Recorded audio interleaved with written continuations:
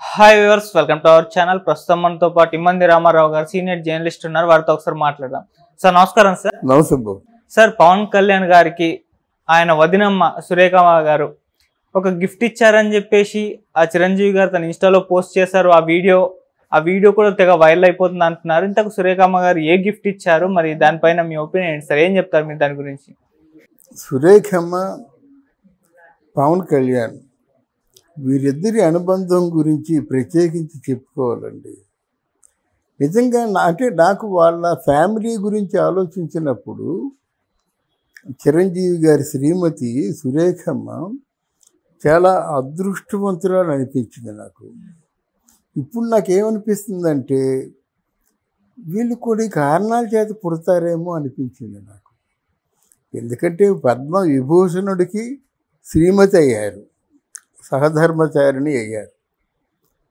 అరే ప్రపంచాన్ని ఒక ఊపు చంటి బిడ్డ తన చేతుల్లో ఉన్న బిడ్డ తను గోరుముద్దులు తినిపించిన బిడ్డ తన విద్యాబుద్ధులు నేర్పించిన బిడ్డ పెద్దయినా సరే తన అంటే తనకేం కావాలో అడగాలంటే ఒక్కరే ఉన్నారు ఆ ఒక్కరు సురేఖమ్మ. అది. అట్లాంటి అది నిజంగా అది చాలా అరుదైనటువంటి జీవితం అందరికీ దక్కదు. చాలా అదృష్టవంతురాలు. అంటే చిరంజీవి గారు వీరందరూ ఆ మాట చెప్పినప్పుడు కూడా మనం చెప్పుకోవాలి కదా. ఎందుకంటే పవన్ కళ్యాణ్ లాంటి బిడ్డ అందరికీ దక్కరు.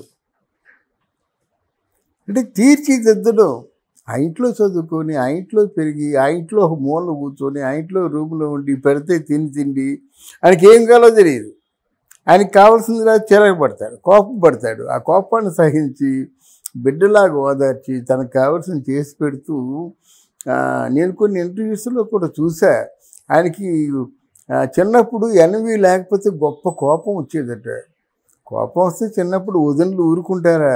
తింటే తిను లేదు పో అంటారు. అలా కాకుండా కావాల్సింది చేసి పెట్టి ఇప్పుడు ఎక్కడ ఆయన ఆయన గుండెల్లో అంతగా నిండిపోయిందంటే అవన్నీ అనుభవాలు ఇచ్చినటువంటి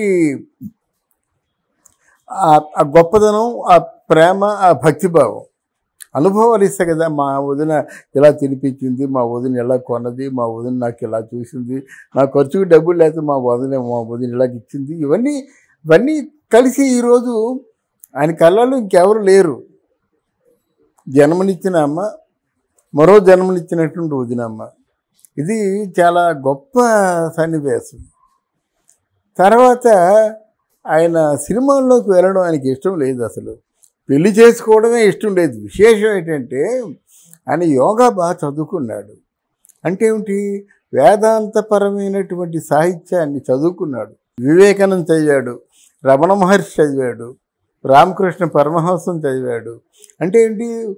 భక్తి జ్ఞాన వైరాగ్యాలన్నీ కూడా almost all seventeen eighteen years ముందే అయిపోయినాయి. వీటికి ఒక ప్రేరణ కావాలి. నీకు పరిశుద్ధంగా ఉన్న చోటే నీకు కూర్చోవాలనిపిస్తుంది. పరిశుద్ధంగా ఉండలేకపోతే బాగా కడుగుతాము ముగ్గులు వేస్తాం ఏది చేస్తాం కూర్చుంటే అందుకే పూజ చేసే ముందు అంత మంచి అలంకరణ అవసరం పూజ గదికి. అలాగే ఒక భక్తి ధ్యానం ఇవన్నీ అలవాటు పడాలంటే అక్కడ మానసిక ప్రశాంతత కావాలా? మానసికంగా పరిశుభ్రత కావాలా? తనకి అరుదైన అనువైన అవకాశాలు కూడా కల్పించాలి. అంటే చదువుకున్నప్పటి దగ్గర నుంచి పడుకునేంత వరకు ఆ ఉన్న అట్మాస్ఫియర్ అంతా కూడా చాలా అరుదుగా ఉండాలన్నమాట. అరుదుగా ఉండాలంటే ఎవరు చేస్తారు? అమ్మ చేస్తుంది. ఇక్కడ అమ్మ చేయలేరు కనుక ఉదయం చేసింది మాట. ఇవన్నీ కూడా అంటే ఆల్మోస్ట్ వాళ్ళు చిరంజీవి గారు సభల్లో చెప్పిన ఈరోజు మనం చెప్పుకునేది ఏంటంటే సురేఖమ్మ లేకపోతే చిరంజీవి గారు పవన్ కళ్యాణ్ గారు లేరు. చిరంజీవి గారు కొంచెం భయం కొంచెం ఏంటంటే బాధ్యత. దాన్ని ఇంకో వేరే పేరు పెట్టడానికి వీలు లేదు కానీ భయం ఒకటి ఉంటుంది దానికి బాధ్యత ఒకటి ఉంటుంది. ఈయన అలా కాకుండా ఒక లక్ష్యం ఒక గమ్యం లక్ష్యం దిశగా ప్రజల్ని చేరుకోవాలి. గమ్యం దిశగా ప్రజలకు ఉపయోగపడాలి. ఇన్ని చేసినప్పుడు కూడా తన జీవితాన్ని ఎలా తీర్చిదిద్దినటువంటి వదినమ్మ అన్నయ్యలకి ఎంతమందిలో ఉన్న ఎదురుగా ప్రైమ్ మినిస్టర్ ఆఫ్ ఇండియా ఉన్నా సరే మోకరిల్లి నమస్కరించి తన రుణం తీర్చుకోవాలి. లేదా తన కృతజ్ఞత తీర్చుకోవాలి. అనే సంస్కారాన్ని నేర్పింది మళ్ళీ మా వదినమ్మే అంటాడు ఆయన. అందువల్ల చాలా నాకు అద్భుతంగా అనిపించింది. ఆ కాలంలో తల్లి కాళ్ళకి నమస్కారం చేశారు. అప్పుడే బొటపొట కన్నీళ్ళు రాలిపోయాయి. ఇమీడియట్గా వదిన వద్దు వద్దు వద్దు అని చెప్తున్నప్పుడు కూడా ఆ వదినమ్మ కాళ్ళకి నమస్కారం చేయడం ఆ వదినమ్మని తల్లిని పక్క పక్కన తీసుకొచ్చి నాకు ఒక్కరి త- ఒక తల్లి కాదు ఇద్దరు తల్లులు అని చెప్పి చెప్పడం. ఇద్దరు తల్లుల ముద్దు బిడ్డడుగా అది ఎంత కదిలించిందండి ఎంతమందిని కదిలించిందండి. తర్వాత వదినమ్మ కూడా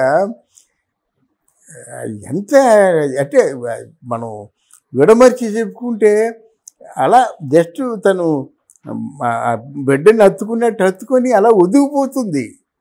పవన్ కళ్యాణ్ పవన్ కళ్యాణ్కి. అది కేవలం బాగా ప్రేమ ఉన్న బిడ్డలో అంటే దూరం అయిపోతున్న బిడ్డ దగ్గరికి వస్తే ఆ ప్రేమను చాటుకోవడానికి అలా ఒదిగిపోతారనమాట నాన్న నీ గుండెల్లో నాకు ఎప్పటికీ ఈ స్థానం ఎలాగే ఉంచని చెప్పేసి అలాగ ఒదిగిపోయేటువంటి ఆ పోస్టర్ మాత్రం ఈవెన్ నువ్వు ఈరోజు గిఫ్ట్ ఇచ్చినప్పుడు కూడా అక్కడ చిరంజీవి పక్కనే ఉన్నాడు. ఇక్కడ అన్న రెజనో పక్కనే ఉంది. గిఫ్ట్ ఇచ్చింది.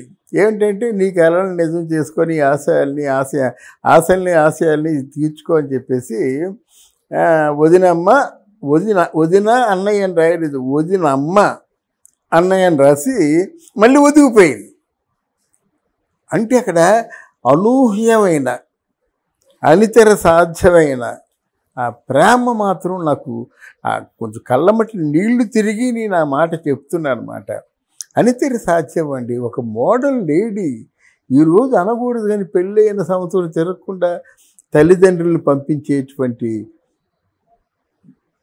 వాళ్ళు తిట్టడానికి కూడా నోరు రావటం లేదు. దుష్టులు ఉన్నటువంటి ఈ సమాజంలో ఇంత గంపెడు సంసారం అంటారు. పూర్వం రోజుల్లో అనేవారు అన్నమాట గంపెడు సంసారం రాని ఒక యాభై మంది కుటుంబాన్ని అందరినీ ఎవరిని ఎలా చూసుకోవాలో చూసుకుంటూ అందరికీ తలలో నాలుగులా ఉండడం మాత్రం గ్రేట్. సురేఖమ్మ ఇది గ్రేట్. అటువంటి సురేఖమ్మ ఆ కళం గిఫ్ట్గా ఇవ్వడం కూడా మరి అందులో చిరంజీవి గారి ఆలోచన కూడా కలిసి ఉందేమో నాకు తెలియదు కానీ ఆ కళం ఎందుకు ఇచ్చిందంటే నాయనా రేపు ఆంధ్రప్రదేశ్ ప్రజల తాలూకు తలరాతలు రాసేది ఈ కలమే వాళ్ళ జీవితాల్ని బాగు చేసేది ఈ కలమే రేపటి తరానికి శాశ్వతమైనటువంటి ప్రయోజనాలు కల్పించేది కూడా ఈ కలమే అనుక్షణం గుర్తు చేసుకో. నీకు నీ కుటుంబానికి శాశ్వతంగా నీకు నీ వంశానికి వచ్చింది కదా కొనిదల అనేది చ- చిరంజీవి గారితో కొంచెం అరకొరగా కనిపించేది. ఈ కొనిజల పవన్ కళ్యాణ్ అనే నేను వచ్చిన తర్వాత మరి ప్రపంచవ్యాప్తం అయిపోయింది కదా. ఇంగ్లీష్ వాడు కోనేదాల అంటాడు అంతేగాని అందం మానేడు కదా. ఇంగ్లీష్ వాడు కూడా పవన్ కళ్యాణ్ మాట పేరు చెప్పాలంటే కోనేదాల పవన్ కళ్యాణ్ అంటాడు కదా.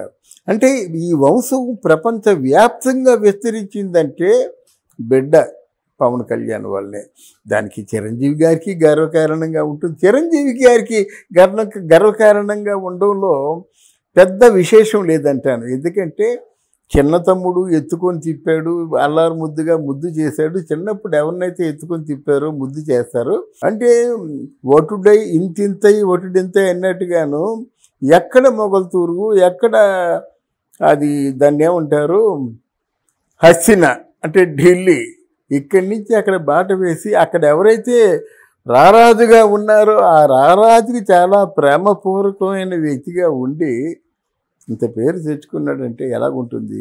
తెచ్చుకుంటే తెచ్చుకోవచ్చు. తెచ్చుకున్న ఆ మూలాన్ని మర్చిపోలేదు. అన్నయ్యను మర్చిపోలేదు. వదినమ్మను మర్చిపోలేదు. దానికి కొంచెం పవన్ కళ్యాణ్ తాలూకు బాధ్యతని గుర్తు చేస్తూ ఇచ్చినటువంటిది బంగారు కాలం. ఓకే. అది. ఇందులో ఇంత మధురమైన భావన ఉంది. అవును sir thank you so much sir శబాష్